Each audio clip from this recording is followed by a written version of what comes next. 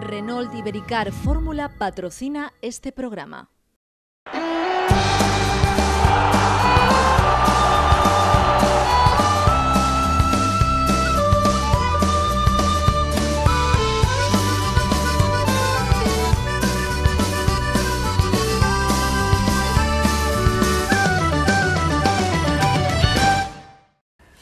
Buenas noches, bienvenidos a Carranza 10. Vuelve el Cádiz a los puestos nobles de la tabla clasificatoria, vuelve a ser eh, cuarto tras la victoria ayer de la Roda ante la Roda en Carranza y el pinchazo del Guadalajara en el campo de la Unión Deportiva Melilla. Una penúltima jornada completamente inesperada, pero que beneficia de qué manera al Cádiz en la parte baja pero ojo que donde se encuentran San Fernando y Algeciras hay problemas. Eh, tras los pinchazos de ambos, el Algeciras en el tiempo de descuento y el San Fernando por tres goles a cinco ante el Cartagena, cuando prácticamente se daba la victoria por hecha para el conjunto de Pepe Masegosa. Vamos a hablar de todo eso con buenos invitados, como cada lunes, eh, con nosotros el entrenador del CONIL, entrenador de fútbol, Baldomero Hermoso. Mere, muy buenas. Hola, buenas. Bueno, enseguida hablaremos también de tercera división y de cómo el CONIL es el mejor de los nuestros en la tabla clasificatoria. Pero al Cádiz se le ha puesto la cosa bastante bien, a falta de una jornada. ¿eh? Eh, así es, ¿no? Eh, tenía que ganar ayer, lo hizo además de, forma holgada, con un sustillo al principio, es verdad, pero bueno, hizo lo que, lo que tenía que hacer, lo hizo de forma, de forma holgada, de forma espectacular incluso, y bueno, Guadalajara pinchó, que era lo que se esperaba, y ahí está. Ahora le toca defender eso en la última jornada en Cáceres, pero además yo creo que eh, con la mejor de las expectativas, ¿no? pensando que un empate le, puede valer. Eh, prácticamente todo el mundo pensaba que el partido donde podía haber pinchazo era el Algeciras-Cartagena, por eso de que el Algeciras se jugaba la permanencia, y cuanto menos eh, la victoria del Melilla inesperada, ¿no? Yo no sé si la tenías ahí en, tu particular quiniela. Hombre, Melilla siempre ha sido un campo complicado, estoy convencido también de que Guadalajara también lo sabía así y los implicados también sabían que eso podía pasar. Y, bueno, el Cartagena aún ganando lo hizo con, en, el en la última jugada del partido prácticamente. Y bueno, se dieron las circunstancias que, se podían dar, como también se podría haber dado que, Guadalajara, que ha sido un rival muy, un equipo muy fiable durante la temporada, pues hubiera ganado en, Melilla, pero bueno, eh, han sido muchas jornadas en las que están cerquita unos de otros y eligió mal momento el Guadalajara para el pinchazo y, y ahora mismo el Cádiz pues depende completamente de él. Tenemos a nuestro entrenador de cabecera, como siempre, como cada lunes, Jesús Acal, muy buenas. Buenas noches, José. Bueno, la cosa se ha puesto bien, ¿no? Aunque, como digo, hay que mantener la cautela porque queda un partido por jugar, ¿no? La verdad es que sí, ¿no? Que estamos jornada tras jornada sumando de tres, eh, los números que está consiguiendo Antonio Carderón son exquisitos y bueno, y ahora dependemos de nosotros. Vamos a dar el último zarpazo en Cáceres y vamos a colocarnos en ese tren del playo como él ha nombrado desde que se hizo cargo de la plantilla. ¿Esperabas el pinchazo del Guadalajara o confiabas más en el Cartagena?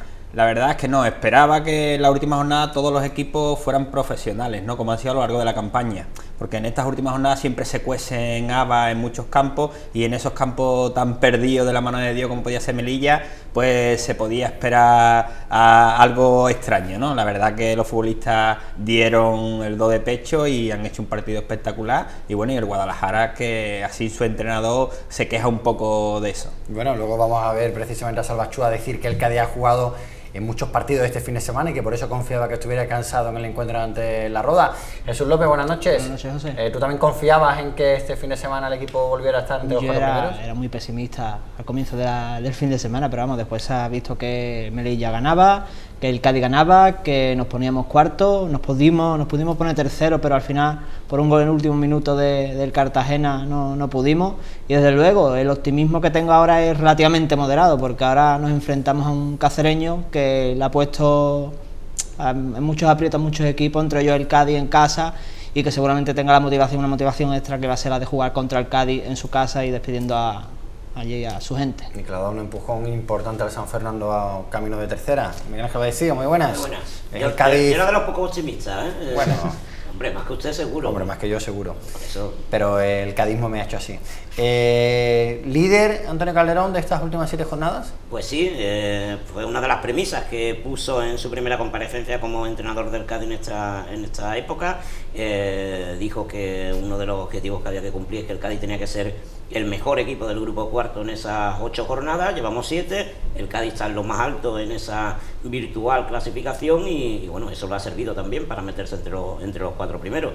Lo cierto es, como, como estáis diciendo, queda un pasito, que todavía es hay que, hay que darlo, eh, es un pasito corto porque el empate, el empate sirve en Cáceres, pero desde luego que, como también dijo el míster después del partido, hasta el rabo todos toros y, el, y el partido hay que jugarlo en Cáceres y conseguir un buen resultado. Bueno, el domingo 6 de la tarde, entradas a 15 euros. Vamos a recordar los resultados, si les parece, de esta penúltima jornada en el grupo cuarto de segunda vez.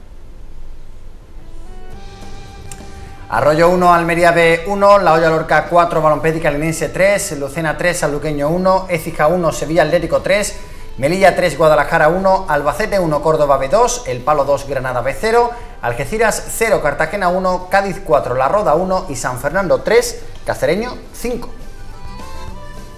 Luego hablaremos del excepcional ambiente que ayer se vivió en el Ramón de Carranza. La cifra oficial decía que eran 12.600, aunque la sensación era de que había mucho más y cuanto menos yo creo que el equipo eh, tenía la idea clara que había que conseguir la victoria después del eh, pinchazo del Guadalajara en Melilla, que tampoco iba a ser complicado porque la roda se jugaba sus últimas eh, cartas prácticamente para permanecer en la categoría. Pero el planteamiento de Antonio Calderón era muy similar al de las últimas semanas. Prácticamente yo creo que hay un equipo completamente definido, un equipo completamente eh, en ese sentido con un once titular muy claro a lo que se está desarrollando en las últimas semanas. Vamos a ver las imágenes del eh, calentamiento porque tampoco es que hubiera demasiadas novedades en ese sentido. ¿no? Ricky Alonso continuaba bajo palos y la presencia de Dioni en la media punta era quizás la única novedad ¿no? Eh, respecto a la, semana pasada. La verdad que, ese grupo de futbolistas le está dando bastantes buenos resultados y, para qué tiene que cambiar. Yo creo que le están saliendo las cosas bien. Eh, ha hecho poquitas variantes sobre el bloque en común y las, y las variantes que ha hecho ha sido por, por necesidades o bien de lesión o bien de, de poder dar otras alternativas al juego y, bueno, y de momento está teniendo un, grandísimo resultado y, y, sobre todo está manteniendo al equipo fresco de cara a si consiguiéramos el playoff, pues bueno, como vimos algunos cambios de, de refrescar a Irán, a algunos futbolistas para que no acumularan muchos minutos. Pues porque la verdad con desde que llegó Antonio Calderón hay 13, 14 jugadores que lo están jugando prácticamente todo. Así es, ¿no? Yo ayer, eh, además, me, llamó la atención, ¿no? Que después de un comienzo tan inesperado, ¿no? Con el gol de la Roda, eh, me fijaba en esos momentos como notaba tranquilidad. Era una situación que, que, igual invitaba un poco a la ansiedad, pero incluso en el momento de hacer el saque, en la celebración del gol de de, la roda, vi cómo los futbolistas se animaban, estaban tranquilos, la sensación que te transmite es que hay seguridad, que hay confianza en tanto en, las cualidades que tienen como el trabajo que se viene haciendo y, dice mucho de ellos, ¿no? porque el ambiente ayer eh, y tal como se comenzó el partido pues, pues, invitaba un poquito a la desesperación en un momento determinado, pero ya te digo, creo que se está trabajando bien, que, los futbolistas eh, están muy convencidos de lo que se está haciendo y ahí están los resultados. Sobre todo enganchar al equipo, ¿no? Porque eh, la racha con Raúl Arné como visitante era muy mala. Eh, esos números se han maquillado, entran dentro de una normalidad, ya se lo hice prácticamente esa clasificación virtual de las últimas tres semanas y ha conseguido también reenganchar a jugadores que estaban entre comillas olvidados, ¿no? El caso de Miguel García eh, siendo importante, Juan Villar, que aunque se especulaba que jugando en banda iba a perder gol, ayer marcaba dos goles y daba la asistencia de un tercero. Mm, bueno, que mm, está el equipo en buen momento, esa es la clave, ¿no? Sí, además creo que los roles están perfectamente definidos, ¿no? Ayer eh, destacas tú o comentas el tema de las bandas. Eh, yo creo que el partido prácticamente se abrió por este sector derecho, donde Juan Villar hizo muy buen trabajo y a partir de ahí o desde esa zona el Cádiz fue donde mayor profundidad encontró. ¿no? Y ya te digo, ha encontrado un sistema, una forma de juego, los futbolistas eh, se adaptan muy bien a lo que quiere el míster y, ya te digo, el, equipo está ahí por, por, esa racha que dice Miguel Ángel, ¿no? esos, resultados y, y, esa buena trayectoria que, que, tiene desde que llegó Antonio. Y sobre todo también porque eh, hay que tener en cuenta que cuando llega el técnico tiene muy poco tiempo para, para preparar eh, lo que él quiere. Eh, sabe que tiene ocho semanas antes de, un hipotético playoff y en ese aspecto yo creo que, que, lo lógico es apostar por un número de jugadores mm, reducido para el 11 porque también estamos viendo que, en la segunda parte están utilizando a futbolistas que también están dando en muchos partidos un, buen rendimiento pero claro, tú tienes que mm, tener muy clara la idea de lo que quieres y eso solamente lo puedes interpretar con X futbolistas, porque la plantilla no la has hecho tú, la, plantilla ya la tenías confeccionada y, en ese aspecto yo creo que también ha acertado, que en poco tiempo le ha dado al equipo la personalidad que él quiere, el juego que él quiere y, con unos futbolistas que, desde luego algunos lo, le ha cambiado un poquito el chip y otros pues ha aprovechado sus características para, para poder mm, hacer ese juego. Pero eso también sobre el césped, pero dentro de la cabeza de cada jugador, cada jugador es un mundo por supuesto, pero desde luego, tal y como estaba el equipo con Raúl Arnés, ni punto de comparación tal y como está ahora mismo con, con Antonio Calderón. Ha habido una imagen antes que, que me ha encantado, no, no me di cuenta, no me percate que fue a Antonio Calderón en medio del entrenamiento, en medio del corro de jugadores Sí. antes de, de la previa del partido.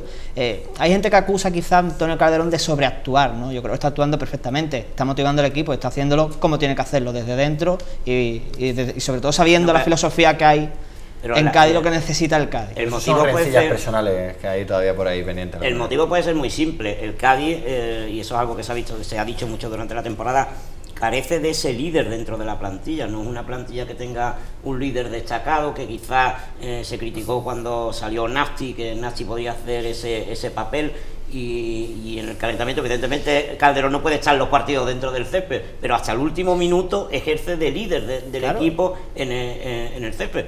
Y otra cosa curiosa es que, por ejemplo, mm, la arenga que dan los futbolistas en la piña inicial la da Irán, o sea, no la da ninguno de los, de los capitanes. O sea, ahora mismo están entre todos que forman uno y el líder que es el propio, el propio entrenador. Pero hacía falta eso, esa imagen hacía falta. Y eso lo ha dado Antonio Calderón. Y hay que reconocérselo. Bueno, vamos a ver si os parece el resumen que tenemos preparado de ese Cádiz 4, La Roda 1. Y así tenemos la oportunidad de comentarlos con nuestros entrenadores, con nuestros míster, a ver si están completamente de acuerdo o no con lo que vamos a ver en pantalla. Iniciamos en el once titular del Cádiz la presencia de Diony en la media punta era lo más significativo y bueno, el regreso de Miquel Martins a la titularidad en detrimento del sancionado John Ander Garrido. La Roda prácticamente jugaba con lo que se esperaba, ¿no? Con cinco hombres atrás, eh, estaba, eh, creo recordar, Castellano, un poquito más retrasado prácticamente formando un, un quinto defensa, ¿no? Esa va a ser la acción que va a dar origen al gol de la Roda, el que saca Jordi Pablo y el que remata es Pajarero. No sé realmente lo que pide ahí Juan Villar, parece que pide fuera juego, está claro que No, no hay es nada. inexistente y el remate completamente limpio porque lo dejan solo rematar y no era el único que entraba solo, había dos más. Hay un despiste grandísimo y la marca, no sé si es Ceballos el que, el que está en pareja con él, pero lo deja ir, le gana la posición y claro, en el momento que sale estar de ahí voy a vas mal. Y esta es la imagen que decía Mere, ¿no? Desde el mismísimo saque eh, de centro posterior al 0-1 se veía al Cádiz enchufado y la primera la iba a tener. La jugada la firma Dioni y el remate, qué golazo marca Juan Villar. Con la izquierda hay un futbolista que, que- que tiene un... El problema de Juan Villar lo hemos dicho muchas veces, cuando piensa demasiado, ¿no? Porque cuando le llega el balón y tira, es un futbolista que tiene un... También si a futbolistas como los del Cádiz le das a esas ventajas en, en cerca del área, es que me parece que está súper mal defendida esa jugada. Y está claro que si al Cádiz con la calidad que tiene arriba le dejas hacer eso, pues lo que puede pasar es lo que pasa ahí. Y el Cádiz pues insistía, ¿no? Yo creo que eh, justo después del gol, si quitáramos los, los cuatro primeros minutos con el gol de la Roda, pues hubiéramos visto el comienzo de partido made in Cádiz, ¿no? Lo típico que hacen los amarillos, apabullar al rival, crear ocasiones y creerse que los goles pueden venir uno detrás de otro, ¿no? Está claro que, el potencial que tiene el equipo amarillo es muy grande para la categoría, lo hemos dicho mil y una vez, que, tiene una plantilla súper compensada, con mucha variedad de, argumentos para, para machacar al contrario, y bueno, y la Roda pues, pues prácticamente un equipo en horas bajas que se encontró con, e- con ese gol que ni ellos se lo esperaban, eh, yo creo que eso fue una un, un sueño, y, pero vamos, que le duró prácticamente un minuto. En ningún momento ellos pensaban de que, de que el partido iba a ser así. Sin embargo, todo lo contrario es lo que fue pasando luego, en los minutos siguientes, ¿no? Y más Sabían- cuando, cuando en el 11 llega el 2 a 1, ¿no? Con el centro de Villar al segundo Exacto. palo. Primero el taconazo de, de, De Airán.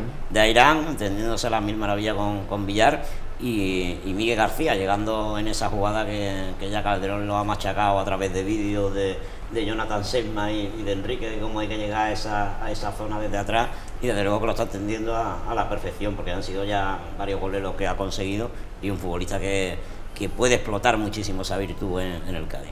Y se iba a convertir un poco en el partido soñado. Es que ¿no? todos los goles llegan por ahí y las acciones llegan todas por el mismo sitio. Es que mientras que hubo partidos, yo creo que la diferencia era abismal entre esa zona del campo, eh, cómo defendía la roda y cómo atacaba el Cádiz. Y es que este es el tercero.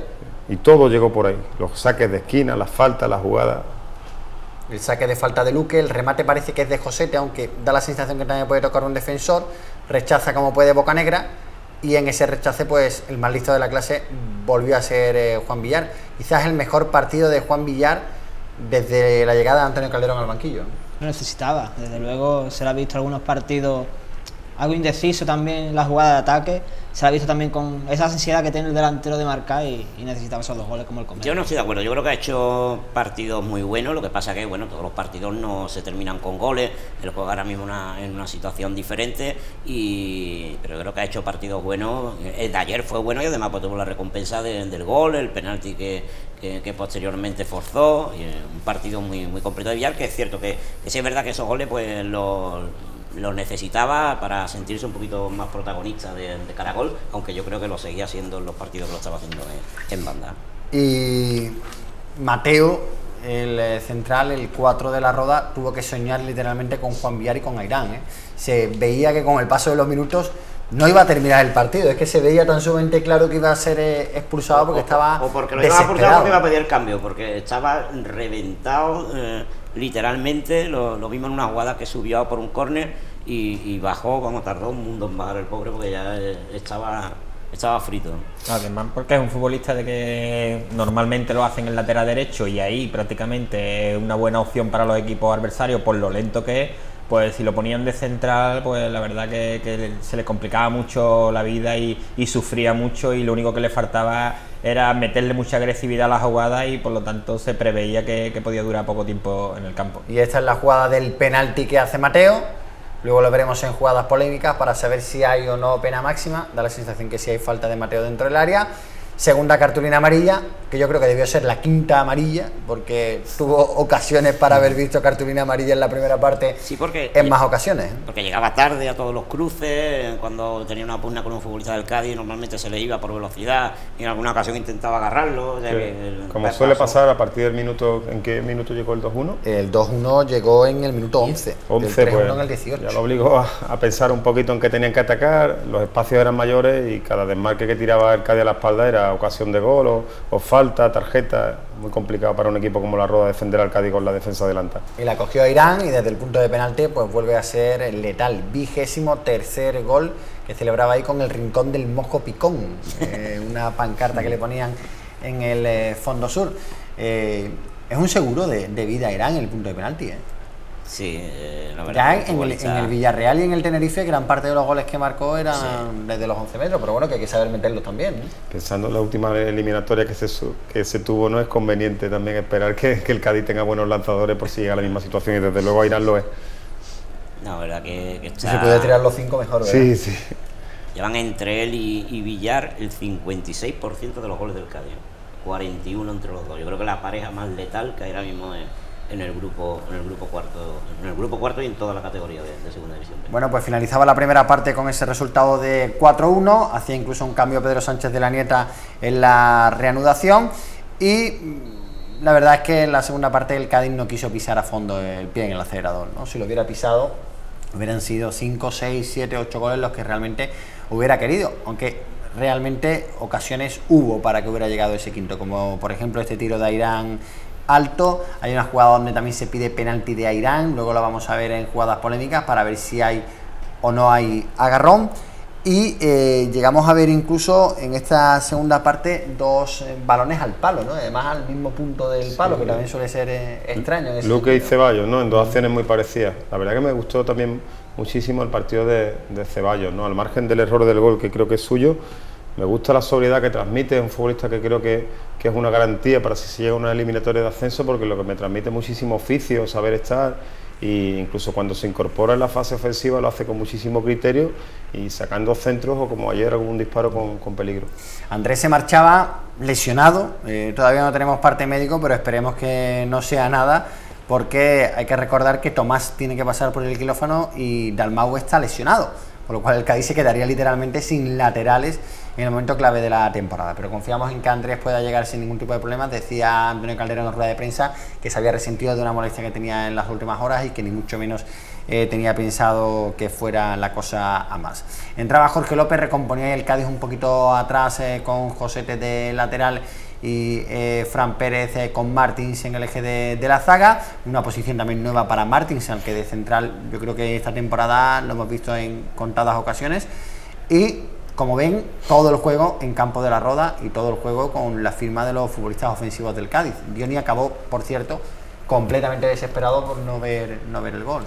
Sobre todo es que estamos viendo ahí jugada tras jugada y ayer se, se vio en el campo como eh, la roda llega tarde a todas, no está cerca de la marca y bueno, y lo único que le hace falta a estos futbolistas es espacio, ¿no? Vemos cómo le cuesta un mundo a la roda ahí a, presionar ahí el balón, pierden muchos muchos balones en zonas intermedias y luego le cuesta el repliegue, la verdad que bastante, bastante complicado.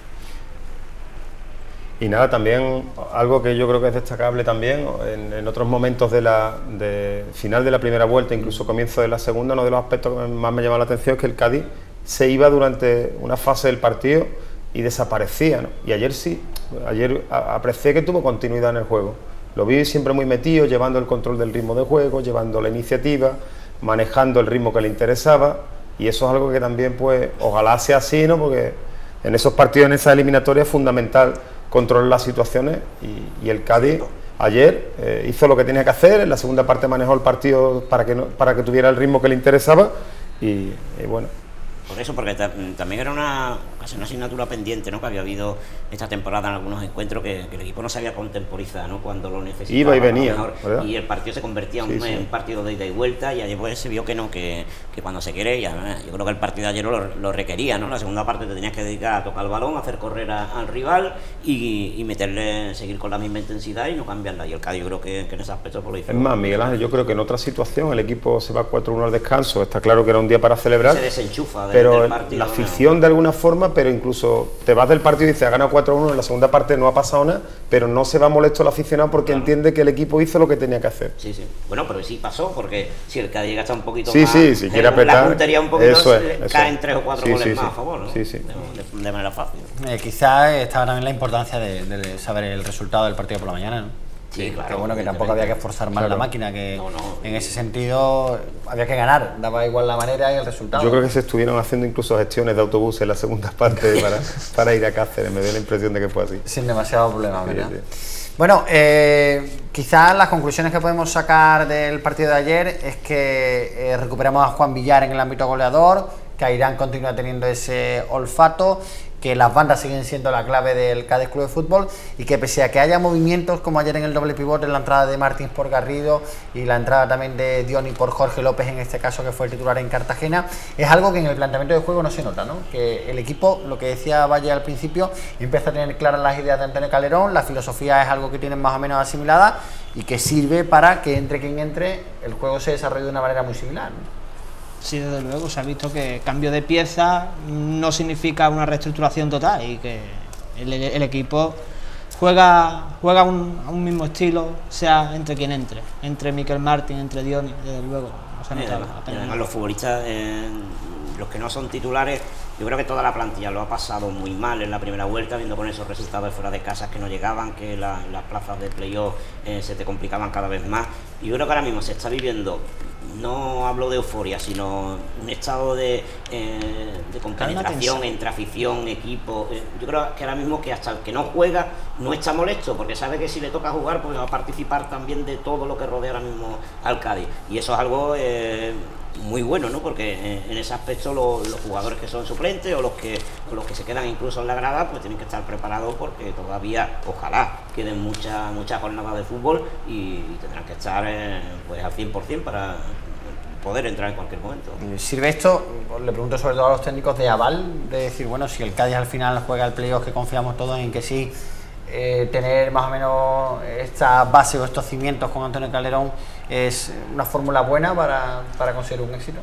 Está claro que, que bueno, te ponen para ocho jornadas, pero sabe que pueden venir luego algunas más. Por lo tanto, tú tienes que ir dando pasitos cortos, eh, argumentos muy sencillos, que los futbolistas lo vayas entendiendo, pero que al final todo va a desembocar en unos argumentos sólidos para afrontar un playoff, porque no nos cabe duda de que esto tiene que ir enfocado a, conseguir el ascenso de, de categoría. Por lo tanto, tú tienes que ir sacando partido y dando pinceladas muy sólidas para que esos futbolistas se vayan adaptando, a la vez ganando. Es decir, una tarea bastante complicada que gracias a Dios le está saliendo bien y que esperemos que esos argumentos sean sólidos de cara a un playoff si somos capaces de sacar partido de Cáceres.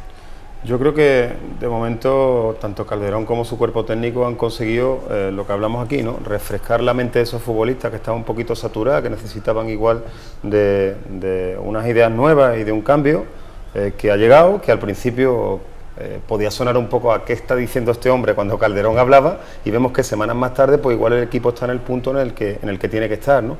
Yo creo que eso ha fortalecido al grupo y que ahora, eh, si se llega finalmente a las eliminatorias, las eliminatorias de por sí traen una tensión que es especial y que no van a necesitar que el futbolista lo motiven porque ya con la eliminatoria se va a motivar. ¿no? Y creo que, que sumando esa motivación que produce el, meterte en esas eliminatorias después de pensar en algún momento de la temporada que no podías meterte y la sensación de grupo con la que puede llegar el Cádiz a, las eliminatorias, pues posiblemente hagan del Cádiz un, rival temible porque ayer se recuperó también ese ambiente de Carranza que va a ser tan necesario. ¿no? Eh, un futbolista de la Roda viene ayer al campo y mira hacia arriba y yo creo que el Cádiz ganó medio partido ahí. Luego tiene que hacer el otro medio en el campo. Pero yo vi superado a los futbolistas de la Rueda y ese ambiente no se consigue en muchos campos de España en la segunda vez. Ahora vamos a ver precisamente imágenes de ese ambiente. A vuelta de pausa continuamos en Carranza 10.